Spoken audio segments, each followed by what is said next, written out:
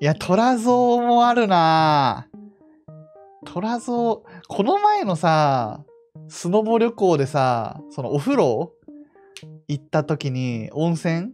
サウナがあったんよ。サウナ入ってたの、俺らで。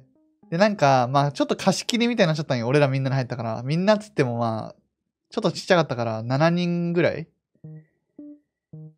サウナ入って、そのドア側に、京さんと虎像が座ってたから、入った瞬間に、虎像と京さんがいいのよ、まず。いや、これみんな入ってこれないよ、これ、みたいになって。入り口側の圧やばすぎん？みたいな。風神雷神。がたい良すぎる、さすがに。